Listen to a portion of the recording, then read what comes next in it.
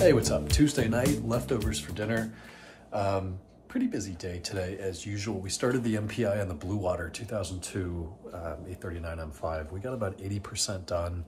We didn't start that sucker until like five o'clock. I had to get in touch with an insurance adjuster for a customer car and send over an invoice with an explanation. I had to talk to a whole bunch of other people, test drive a few cars. Uh, so it was just a really busy early part of the day. But we kicked off the inspection tonight and kind of got the underbody, chassis, suspension, and body portions done. We're ready to move on to the interior, which we will um, pick up on tomorrow afternoon.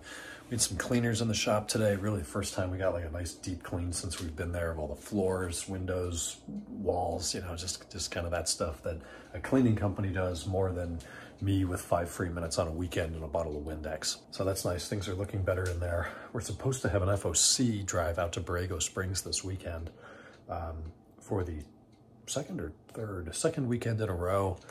Uh, it's going to be 58 and raining. We've got another system coming in, so we've postponed that. We tried to go to April 6th. The restaurant that's hosting us isn't available that date, so it's the following week, April 13th, the weekend before the La Jolla Concours, that we've rescheduled to. So that creates a whole bunch of problems because people bought tickets planning for the 30th and now can't go the 13th. So that's my dad's handling that, but it's still a pain in the ass. Earlier at the shop today, we had the leather specialist come out um, actually three of them, and work on the caramel interior on that Sterling Gray 01 for a couple hours. Everything caramel inside the car has been resprayed. I mean, the, the interior is going to be absolutely mint when it's back together.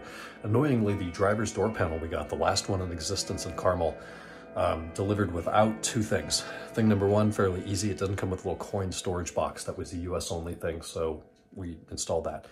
The other issue is it didn't come with a cutout for the memory seats. You can see where it's supposed to be, and there's like a little indent in the material, but it's got me wondering, I guess Euro cars, that was an option, even on the M5, like memory seats. I, I, I don't know, I'd have to look into that, but we had to very carefully cut that out and fold the leather back and glue it. It's a pain in the ass, but everything's done on the interior now except for the driver's seat. We're replacing the foam panels and that. So tomorrow that's gonna go down to the the other leather specialist here in town. He's going to take the leather off, put it on the new forms, uh, the new foams, and put that back in the car. And then the leather specialists will come out and re-dye that final seat. But we got the parcel shelf in today, um, new seatbelt tensioners or buckles.